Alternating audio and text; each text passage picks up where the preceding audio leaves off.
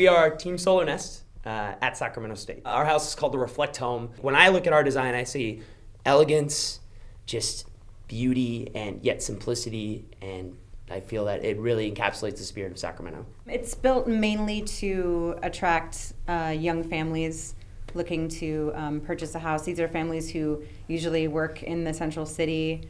Um, they're looking at neighborhoods that surround the central city. Um, everyone typically thinks of solar panels as uh, just a big sheet you put on the roof, or you can maybe make an overhang.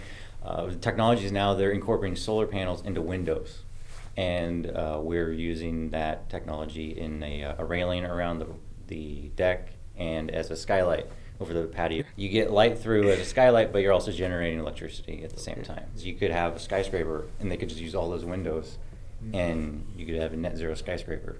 Team